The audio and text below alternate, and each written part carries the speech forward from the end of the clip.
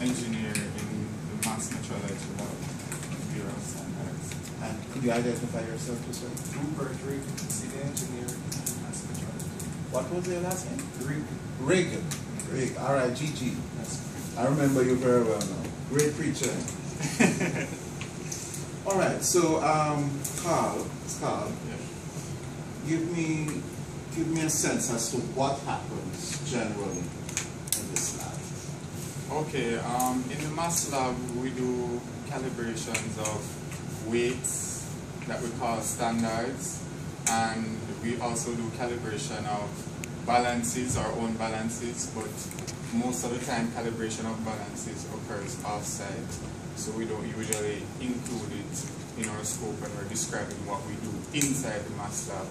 But what we do is the calibration of weights. We also do lottery balls for Supreme Ventures and right, it is.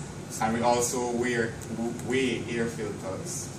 So for like the people who wear the mask, that's what respiratory